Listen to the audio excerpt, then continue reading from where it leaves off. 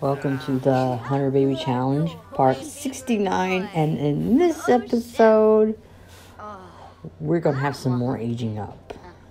Ocean Prince, Uriel, I think that's how you pronounce that. And Vincent. Yeah, that's who's aging up in this episode. So whenever we get around to throwing around the birthday parties, that'd be great. That'd be absolutely wonderful. I just got done watching some Lexx. I watched um, K Town, and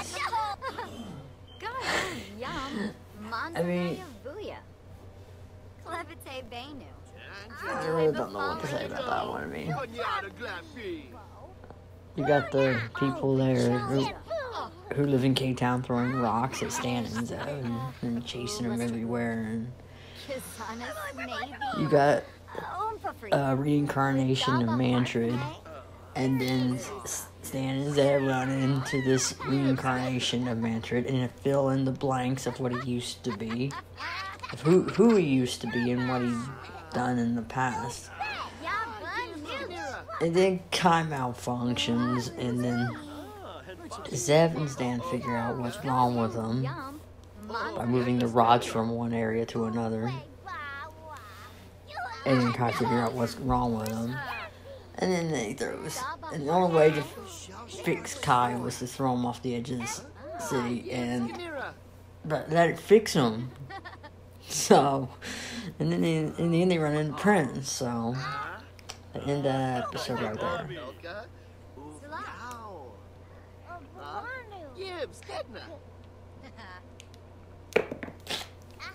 Overall, good episode. Because I was doing like a, like, writing my version of K Town. And then I needed some references. Had to rewatch the episode to write something different. In my version, they didn't run into Mantrid. but there is a good scene between Zev and Stan. I ship that. Yes. Anyways, most of the stuff I write that I'm currently writing, I don't think I'll put it up. I don't know, maybe. Um, I might put the one up where Stan goes goes to Plant B3K and ends up finding his daughter and rescues her before the Mantrid drones destroy the world.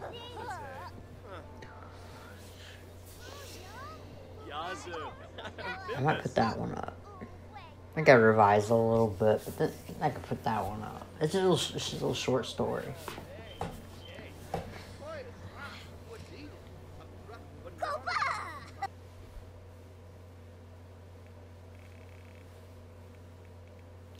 Oh, she's writing another Lexx screenplay. Norb. She wrote Nook and then now Norb. Oh, I'm going through the list. And I'm going to be honest, I don't get through the entire second season. I don't even get to the third before the end of the series. I mean, before the end of this generation. We love teenagers and kids who want advice. I really don't care about your advice, to be honest. I just, I just don't care.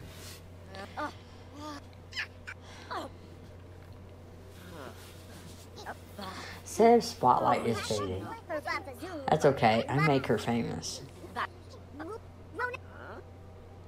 I thought I did make her famous. How's her spotlight fading? I just made her famous. You know, whatever. Is she getting a headache? She got a headache, don't she? I need you to write this. Don't get a headache on me now. I need you to finish this. I don't see how she's tense from not using her phone when she's just just on it. Would you like to go to the? She actually takes her to the bloods. Don't say you're going to take her one place and then take it to, to another. Actually, I thought she went with Zev at that time. No, she doesn't. She go. She does go.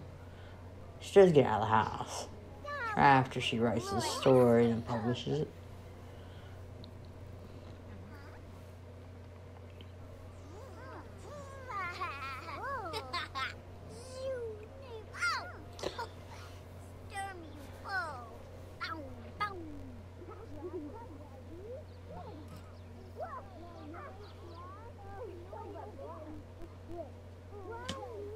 We go. She publishes her book. Her next. It's actually screenplay.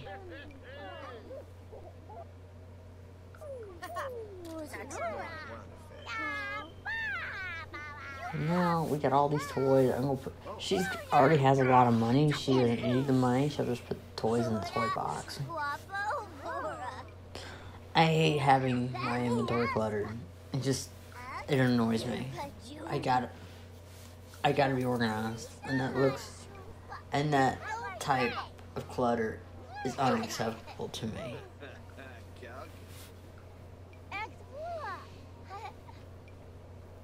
I can't stand clutter. Says someone who actually is married to a hoarder. Not a hoarder. Was a hoarder. But a slob. Yeah, I'm married to a slob.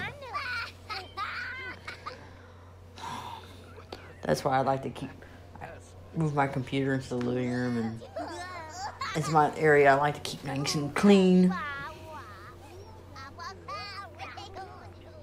It's just if it's not clean, it just it just I go nuts. I mean, I, it has to be clean. I got one area that's my area and it's clean area.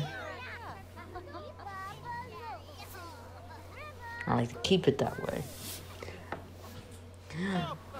Okay, now we're at the Bluffs. We've been invited to the Bluffs to do some dancing. What's the point? There's nobody there. How can there's nobody there? Of course, there's somebody at the bar, but who's doing the music? Oh, Of course, Zev's famous, and everybody's celebrating something. A little dance party going. Who's running the DJ booth? Zev can't run it. I don't know why. Does she? She? she you think she could use it to work on her DJ skill, but she can't really. That's pretty lame. Why can't she? Why can't she do the music herself? Doesn't make any sense. I think it was one of her sons that invited her. I think it was Damon. Yeah, Damon was the one that invited her. Oh, Pilpin. Oh, Karoo. Oh, but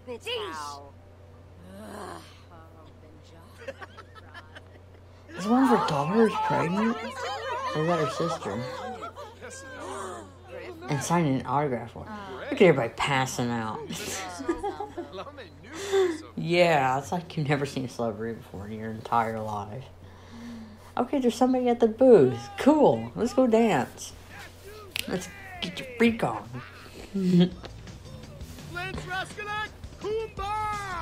Time for everybody to get their freak on. Let's do some dancing, Zev. Let's do some dancing. All right, get your freak. Seriously? Did you just stop the music when da- Zev started dancing? Are you kidding me? Why'd you stop the music? Dude, we get it. She's a celebrity. Can celebrities dance? Without the DJ stopping the music? What's wrong with this place? Now, get some going. Get your groove on. Keep going. She's dancing. She's breakdancing. Yes, yes, yes. Break. Why? Why'd you just stop? Why'd you stop music? Why? I we get it. She's a celebrity. So she can't dance because you're too stupid? Please, you're a DJ. Stop. You're supposed to be playing the music. Celebrities are allowed to dance without you. Dance. Okay, dance. Dance, dance, dance. Sorry, stop the music one more time. I'm, I'm gonna, I'm gonna hit this guy. I'm gonna hit this DJ in the face. Kick him in the throat. Cause, cause that, how is that supposed to dance if you keep stopping the music? You idiot DJ. I wanna, hurt you.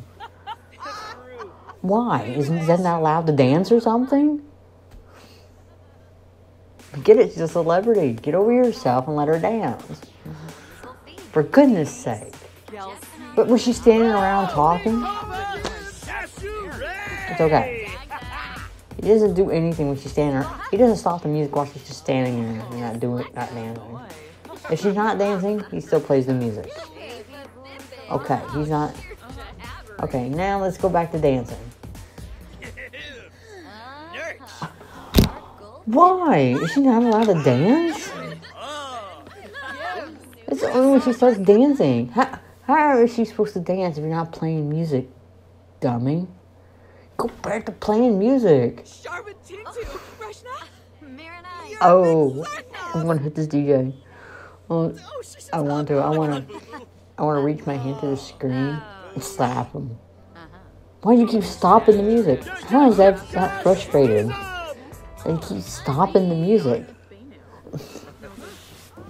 I, I'm seriously. Can somebody who is capable of doing such a thing reach their hand across the screen and smack that DJ? Zev, can you do that for me? Be rude to the guy. If I were you, I would. Because seriously, DJ can be smacked upside the head. You keep stopping the music every time his head starts dancing. What the wrong with this dude? Oh, I want to hurt this guy. I really do. He's not real. He's not a real guy. That's why I want to hurt him. Because he's not real. He's just fictional. Zev, I will find out where you. You stop the music one more time while, Zev dances. Zev will find out where you live and steal from you. I'm not gonna lie. Now start dancing. That's it. I think I should find out where this where this sim lives. Is I should steal from him. Because he is an idiot. Ending early because this is lame. This is totally lame. I couldn't go through the rest of the dance party with the DJ keep stopping the music every time Zev dances. Oh, that DJ. I should really find out where he, that Sim lives and Zev steals from.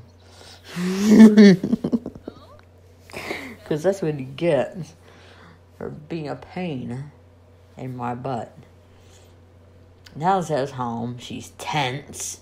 I don't think she can write a story and she's tense. But she is confident. Definitely confident.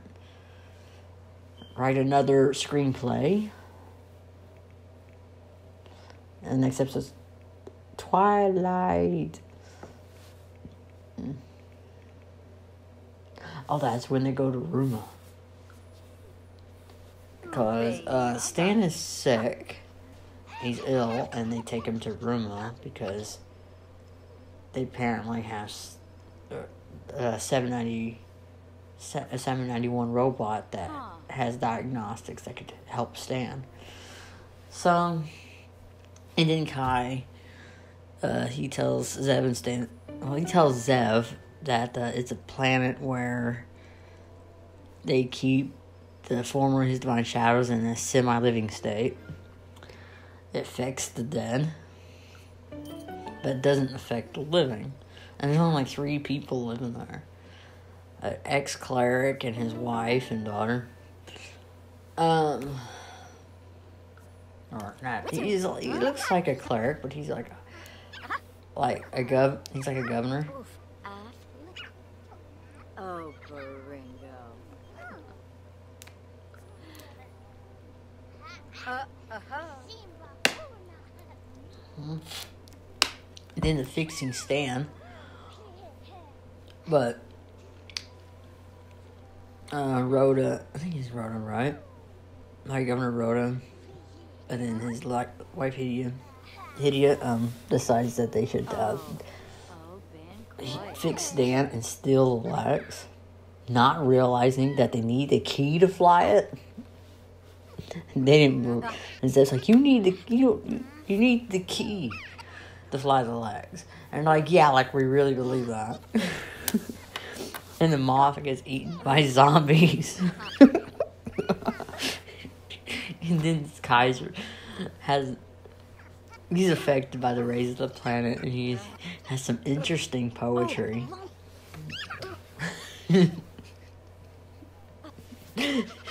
and since the zombies ate the moth, they need to call the Lexx to fly down to the planet and get them, right? And Stan had this, and then Kai had the only squawker to communicate with the Lexx. And then Lyekka happens to wake wake up and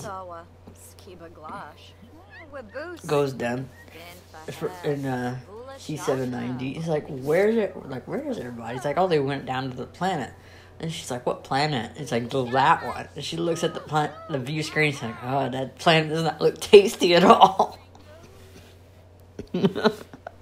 she goes down to the planet and um she does eat the she does eat lamia and she does and she does eat. Hydia. I think she eats the body of 791. Uh, not 791. It was 792. 792. I, I, I had to correct myself. And, um, what else? Uh, when they, they get, the moth gets eaten. oh, oh, no, wait. I got to the part where Stan and Zev went looking for Kai and finds him on top of a cliff, asking him for the squawker so they could contact the Lexx. Kai throws the squawker off the cliff.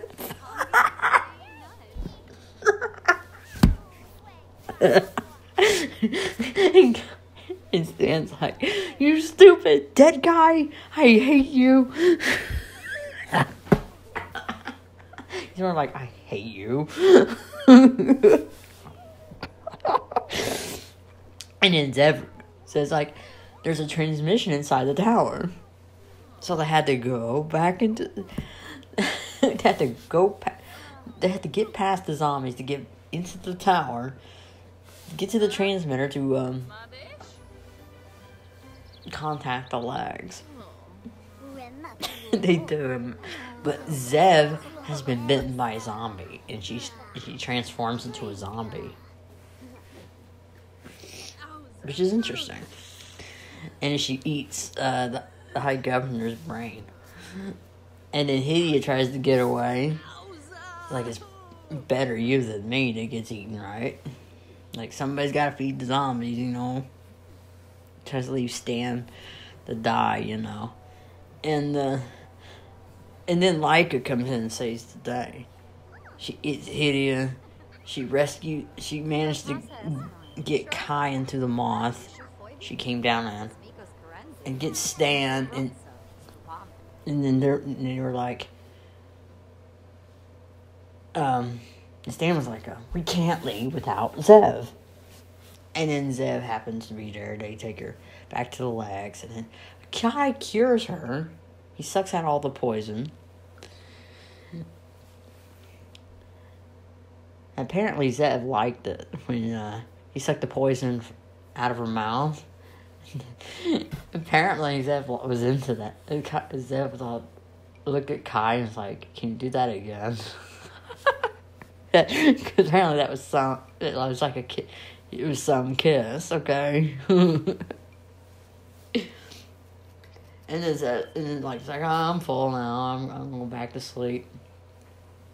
And uh, first, I was like, did I eat the high governor? And Stan's like, well, yeah, you did. Well, his brain anyway. and like he goes, well, I ate Lomi and the mother. and and then Stan's like, Lexx. So he didn't say Lexx. He say he's like he says, let's blow up Ruma. And Kai's like, there's no one living on Ruma. It's like, and then these, and then Mantrid drones comes by and they watch, yeah, they watch Mantrid drones come by eat the entire planet. Yeah, that's Ruma. No, that's episode Twilight.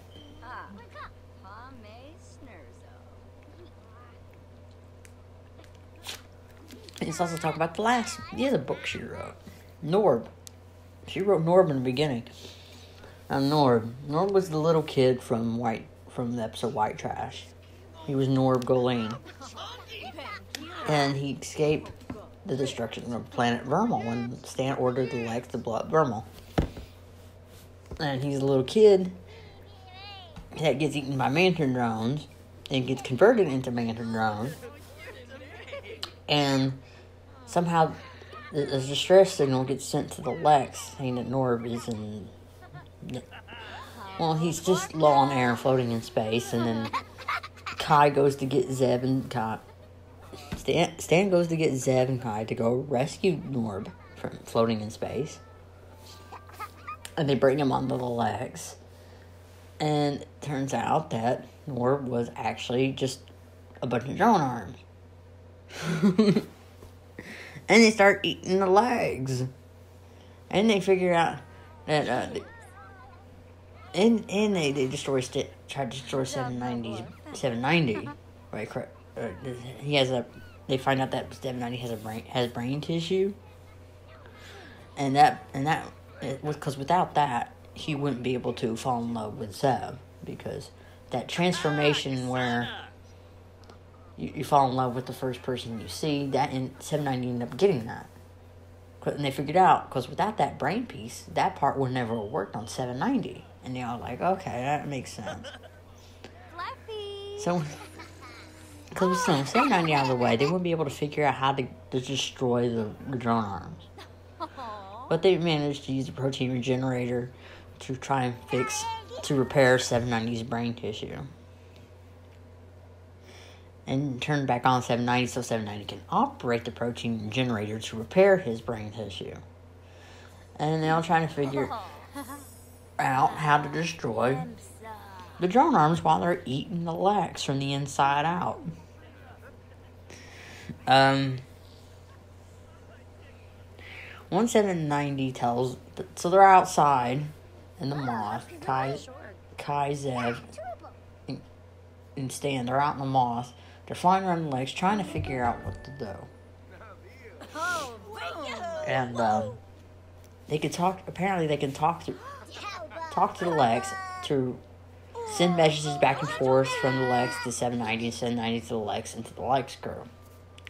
So 790 can tell them how to destroy the drone arms or how they work or whatever. And they figured out, well, they figured it out and said, like, but, like, if the Lexx reverse his polarity, the, the fry all the the electronic circuits on board. And so I was like, would that destroy 790? And then and Kai was like, yeah. I think Kai was like, he, he, like, well, he is electronic circuits. Like, yeah, that would affect 790. And Stan's like, I don't think he would be destroyed because that, because he has the living tissue and, and the part that counts. It's like, well, Kai's like, we gotta get 790 out of there if you don't want him destroyed. So we make they make the trip back to the Lexx uh, and send Kai to get 790. As soon as they fetch 790, they get back on the Moth. But Stan has trouble communicating with the Lexx through the Moth. And and then says like, is he dead? And Kai's like, no, but I don't think so. But we can't can no longer communicate with him this way. And then Kai's like, well, his main control center is on the bridge. And it's like, and, and Lexx is, is Stan's the only person that Lexx will listen to, since he is a captain. And Stan's like, I'm the winner. So Stan has to get out of the mod. And Kai goes after, goes, follows him. And uh, Stan gets on the bridge and tells the Lexx that how to destroy the drone arms by reversing his polarity. So he gives him an order, and then the and then the seven, and then all of a sudden the drone arms start. You know they know what he's up to. They're, now they're going to go after Stan and Zev and Kai. But Kai says he stay on the Lexx because the polarity wouldn't affect them. So Stan and Zev take 790 to go outside and watch the Lexx reverse his polarity, and it kills off all the drone arms. And then they get once they get back on the Lexx, they get a message from uh, Mantrid saying that um, it was all it, it was just a game he was playing with them. It's like because it because because if I didn't like you, you think you all be destroyed by now. Because because because if it wasn't for the Lexx crew, well, Kai mainly, if it wasn't for Kai, then Mantrid still wouldn't exist. So it was all thanks to Kai that Mantrid still exists. Because of the, you know, in the episode did. Kai still had some uh, insect essence inside him and transferred it to the only insect. And Kai, I mean, the Mantrid ended up getting that essence transferred into his machine. Down here, he's Rancher's part machine and part insect, and has that drive to destroy the universe. So, Ranger says that that the Life Crew will be the last to be destroyed by Mantrid drones because it's a thanks to why he still exists in the first place.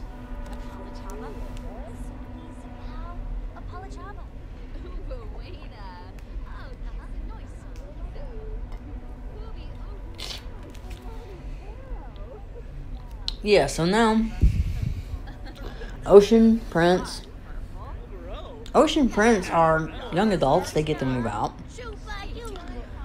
And Uriel and Vincent are now teenagers. So this is great news. This is wonderful news. So is everything eaten up?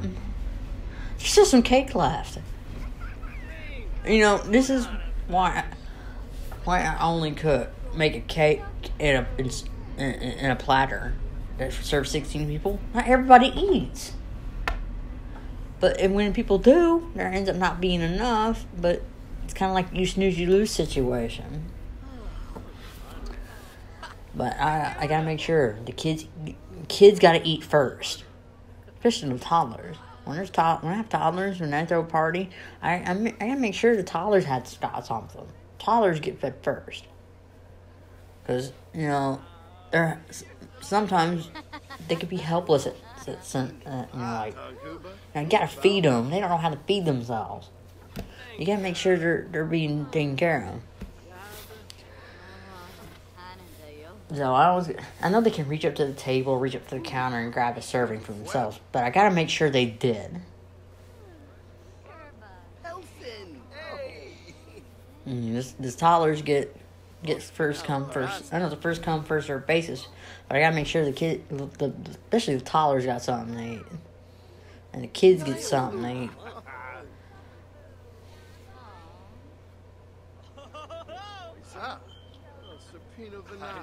Now, in the next episode, um, Ocean Prince has moved out, and and uh, Zev gets to hook up with the next baby daddy. Ooh, very interesting. You'll never believe how. Such spoilers. I'm gonna say it. Stanley, Stanley, Stanley, Stanley, Stanley, Stanley, Stanley. I like Stan. He's one of my favorite characters in Lexx. I like I like Stan, Zev, and Kai. I like both Zevs. I treat them both equally. I favor them both equally, especially in this challenge. You get one Zev for like I could use one Zev in one generation, a second Zev in another generation, and then repeat the process. And I'm also going to go through the 200 baby challenge. Yes, I decided that. Anyway, this is the end of this episode, so stay tuned for part 70. Like, subscribe if you ever want to see more content.